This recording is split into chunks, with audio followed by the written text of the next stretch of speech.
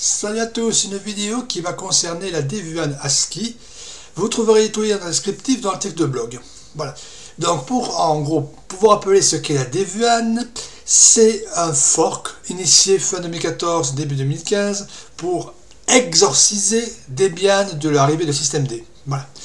Exorciser parce que je considère que la guerre des init, ça tient autant de la guerre technologique que de la guerre sainte c'est juste pour ça que je parle du terme exorcisé. La première Devuan est sortie en... que je dise pas de bêtises, voilà. voilà. Donc la première Devuan, la Devuan 1.0 est sortie le 25 mai 2017. Et manque de peau, trois semaines plus tard, c'était la Debian basée sur la version suivante qui sortait. Autant dire que Les développeurs de Devuan qui avaient mis plus de deux ans à sortir la version, enfin presque deux ans à sortir la version, se sont fait coiffer au poteau parce que la version suivante, la Debian Stretch, qui a succédé à la Debian Jessie, était sortie trois semaines plus tard. D'ailleurs, si on regarde sur le site officiel de la Debian, les noms de code, c'est Jessie qui correspond à Jessie, ASCII qui correspond à Stretch qui est sorti depuis près de 8 mois, euh, même un peu plus, on est... Euh, oui, ça fait 8 mois. Ça fait à peu près 8 mois parce qu'on est en février 2018. Elle est sortie en juin 2017, donc ça fait déjà 8 mois que la Debian Stretch est sortie.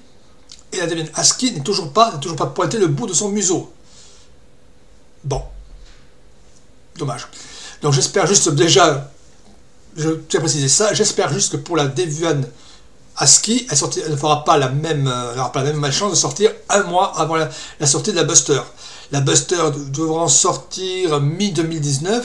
Ça laisse de l'espoir. Bref. J'ai récupéré, pour faire cette vidéo, voilà, j'ai récupéré l'image d'installation sous forme de DVD. J'ai fait l'installation uniquement avec DVD. Voilà. Après, j'ai fait les mises à jour. Et maintenant que j'ai une Devuan 1 alias Jessie à jour, on va, la, la lancer et pour la faire migrer vers la Devuan 2, alias ASCII. On est parti. Bien sûr, si la mise à jour est trop longue, je couperai et je reviendrai une fois l'ensemble terminé. On pourra bien compter facilement une demi-heure de mise à jour. Donc déjà, on a noyau 3.16. Ça commence à faire vieux. Faut, faut se souvenir que la Debian Jessie est sortie en 2015 juin 2015, ou juillet 2015, enfin dans ces eaux-là. Ça fait vieux, quoi.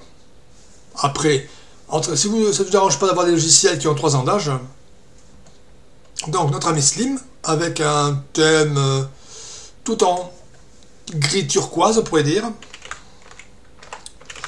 Ah c'est vrai, vous n'avez pas l'ADM, vous avez Slim, je ne sais pas pourquoi.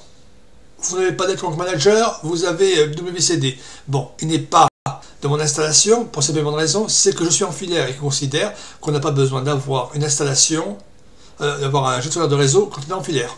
Pourquoi pas? Là, je passe en plein écran. Ah oui, il y a un truc qui s'appelle Debian. Ne vous laissez pas avoir, parce que si on regarde le fichier texte,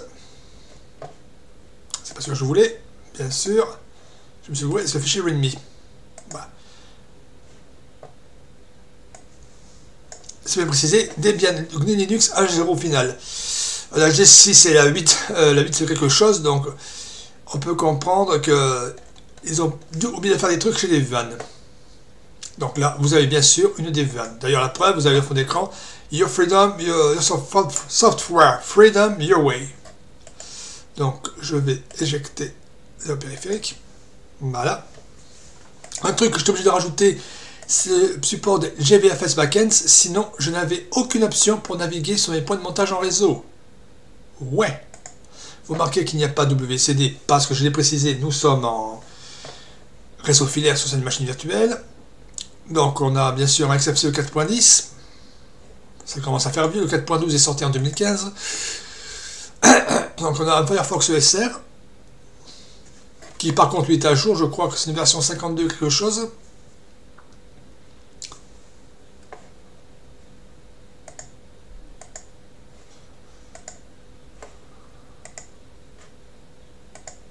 Oui, 45.9.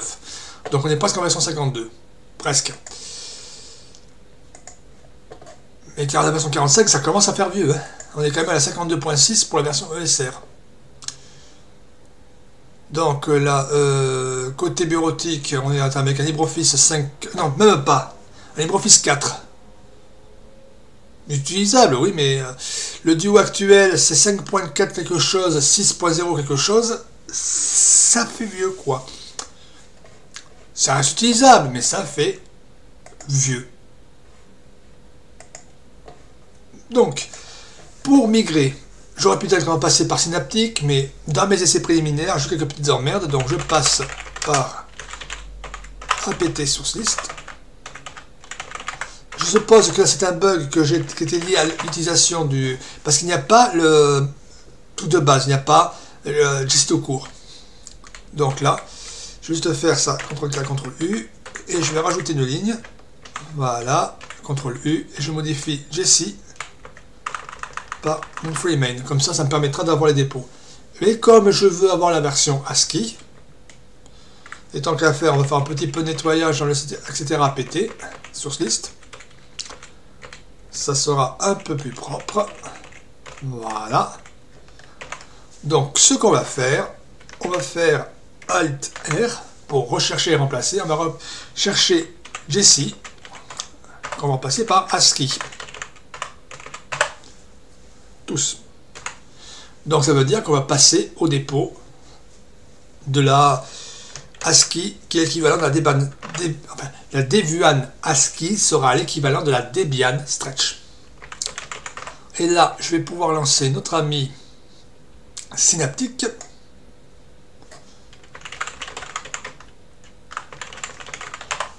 Voilà.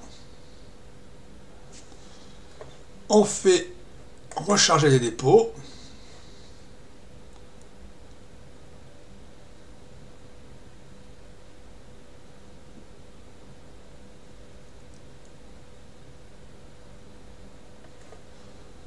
Et on va tout mettre à niveau. Oh là là, je sens qu'il y a un gros paquet de modifications.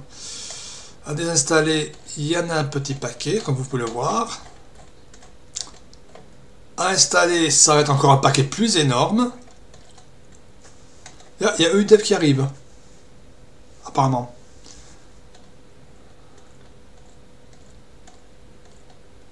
Donc vous voyez quand même un sacré paquet de fichiers à mettre à jour. un sacré paquet de paquets, c'est le cas de dire. Qu'il n'y en a plus, il y en a encore. Vous voyez à peu près le nombre de mises à jour qu'il y a à faire.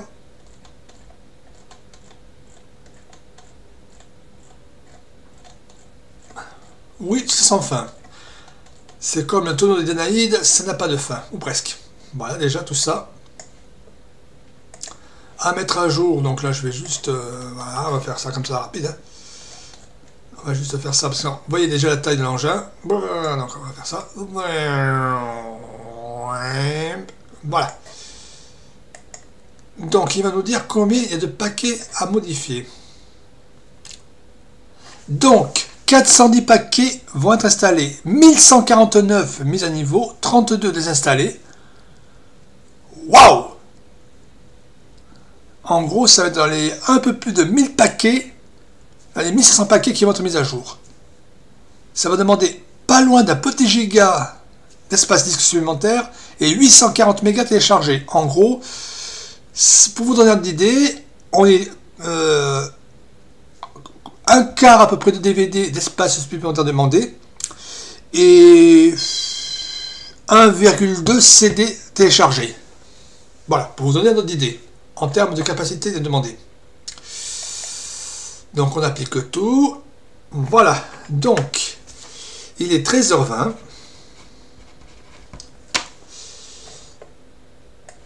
Voilà, c'est 6052, donc 13h20, je mets la vidéo en pause et je vous dis dans 20 à 30 minutes, parce que je ne sais pas du tout. Donc à dans une vingtaine de minutes pour la suite des événements. À toutes 43 minutes sont passées, voilà. C'était beaucoup plus long que je ne le pensais, je pensais 20 minutes, 30 40. Donc on va redémarrer l'ensemble et voir à quoi ressemble cette pré-version de la Devuan ASCII, alias Devuan 2.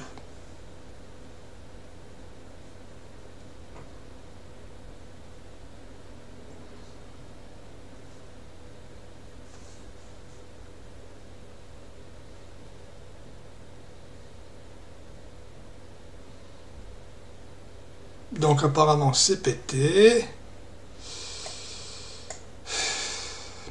J'aime pas faire ça. Mais quand il le faut, il le faut. Donc nous avons un noyau 4.9. Pas plus mal. C'est mieux d'avoir un noyau 4.9 qu'un noyau 3.16. Euh, Tant qu'à faire, c'est un vrai mieux.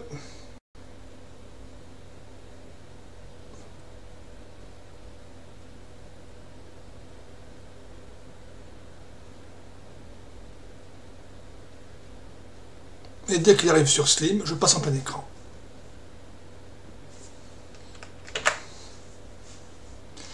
Ah, le thème est déjà un peu plus sombre.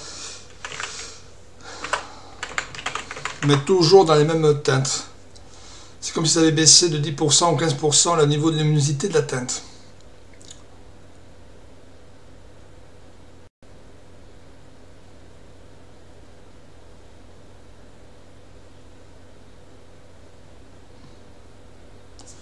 Le fond d'écran s'est changé.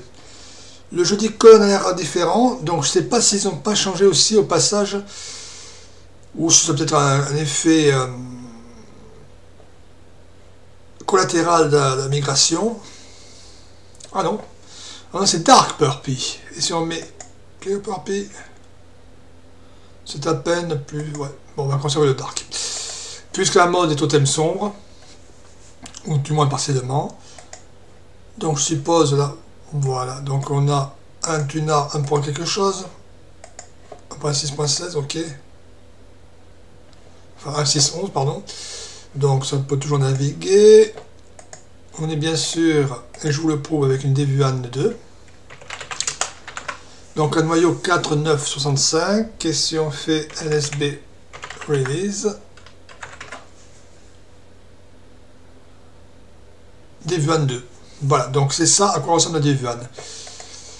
Donc je suppose que côté logiciel, on doit être quand même légèrement à jour, vu le nombre de paquets qui ont été remplacés. Alors, Firefox.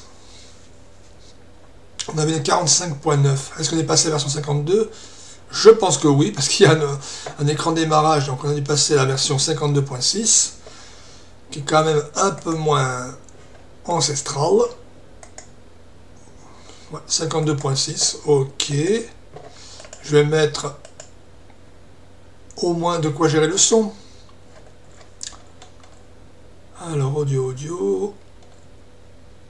Mise à jour météo. Pulse audio plugin. Il n'y a pas de mixeur.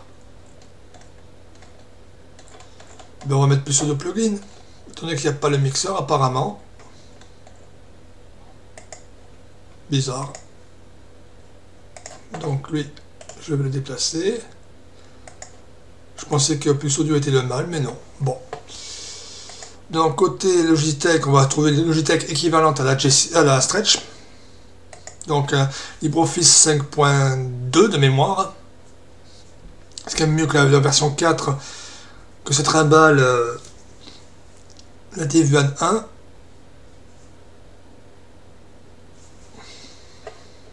Donc déjà, c'est quand même un brin mieux. Mais côté limitation en termes Logitech, c'est comme la Debian euh, Stretch au niveau de, des versions logicielles, c'est tout quoi.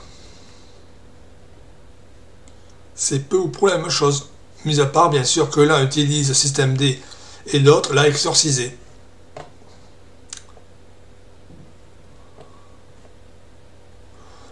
Donc voilà à quoi ressemble la Devuan. Ouais, bon, ben, si vous connaissez la Debian Stretch, vous connaissez un peu de choses près la Devuan. Voilà. C'est vraiment euh, le principe du ouais mais vous savez quoi, on va faire un fork pour changer uniquement le système init. Ouais Et au final, l'utilisateur ne voit que dalle.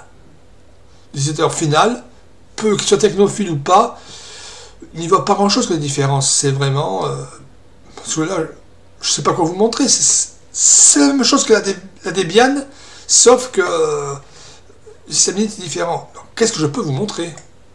Voilà, c'est la question que je me pose. Alors, voyons. Euh, outils système. Dans Synaptic, je vais voir quand même le. Je vais faire une petite purge pour voir quel, euh, le nombre de paquets qui peuvent être maintenant enlevés parce que inutiles. Graphiquement, elle tient le choc. Mais... Euh, installer pour être supprimé, voilà. Donc on va sélectionner pour suppression complète.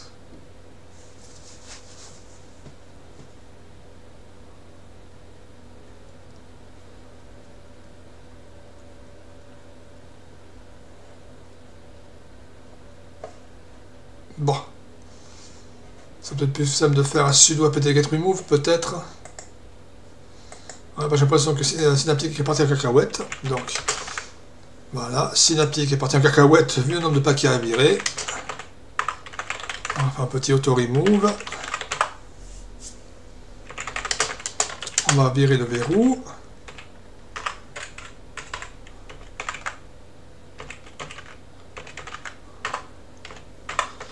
Et là, on fait nouveau apt-get auto-remove.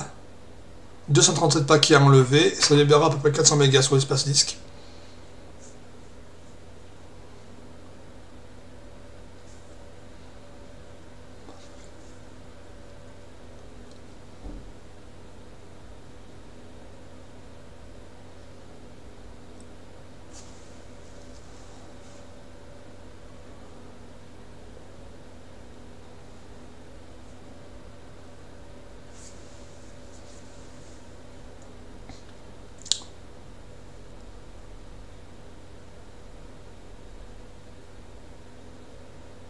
Vraiment, mis à part que le thème est un peu plus sombre, on se retrouve avec un XFCE utilisable. L'imitation, c'est qu'il y a hum, toujours euh, Slim à la place de l'IDM, mais apparemment, je ne sais pas si l'IDM est porté pour euh, Debian ou pas. Enfin, si les développeurs de Debian l'ont porté ou pas. On a un noyau plus récent, donc en gros, c'est juste ce qu'on peut attendre d'une mise à jour. C'est tout. Mais euh, pas beaucoup plus, c'est une montée en niveau. C'est quand même dommage de voir qu'ils prennent autant de temps à faire cette simple montée en niveau. Enfin, simple. Il n'y a pas des paquets à modifier, mais... Euh, est-ce qu'ils vont attendre encore 6 euh, mois un an ou un peu moins, histoire de dire, ouais, vous savez, voilà, on a réussi à faire le truc. Et que trois semaines ou un mois plus tard, des, des biens sortent la Buster quand même triste pour eux, quoi. Parce que sinon... Euh, donc j'ai vu qu'il y avait un paquet LibreOffice GTK qui avait été viré, mais je me demande si ça va toucher l'apparence ou pas. Non, même pas. Donc on va dans Synaptic.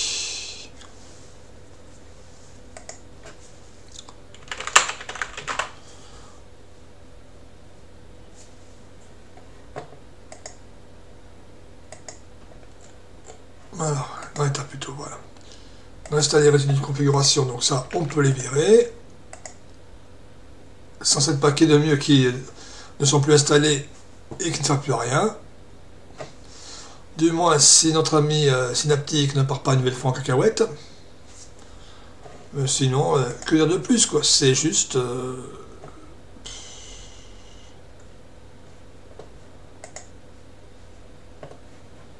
Synaptique est reparti en cacahuète. Je lui en ai trop demandé, le pauvre. Bon. On va sudo apt clean.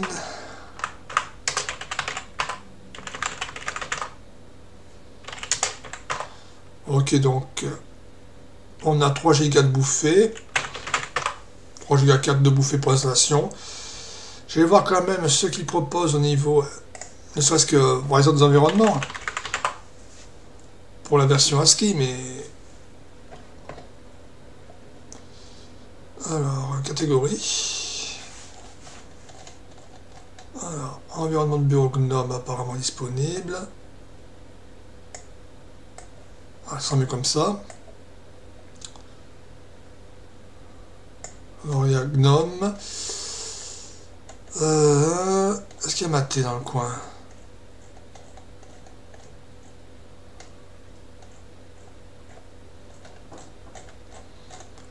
Apparemment, il n'y a, pas, euh, a pas Maté.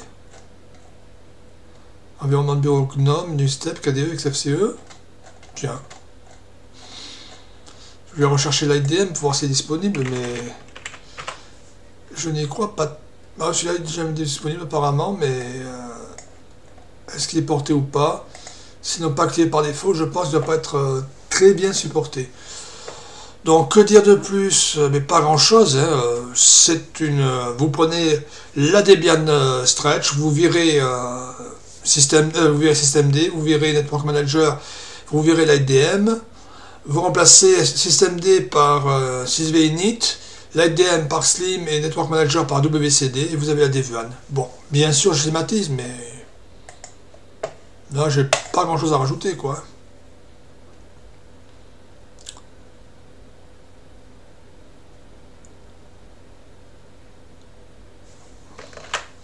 Donc pour conclure, vous voyez que la DVAN reste vraiment le, entre guillemets, tout ça pour ça. C'est une bonne distribution. Pour les personnes qui n'ont pas envie d'entendre parler de système D et qui aiment bien Debian, pourquoi pas? Mais euh, si vous n'aimez pas système D, euh, pourquoi ne pas migrer vers Gentoo, Funtoo, Calculate, euh, Void Linux ou encore, pour les plus fanatiques, Artix? Voilà, ça, vous conviendra tout aussi bien. Ou, mieux, pour si vous cherchez du stable de chez stable, passez sur Slack. Vous ne serez pas déçus. Voilà, j'espère que cette courte vidéo sur la fin vous a plu. Je vous dis salut à tous et à la prochaine. Ciao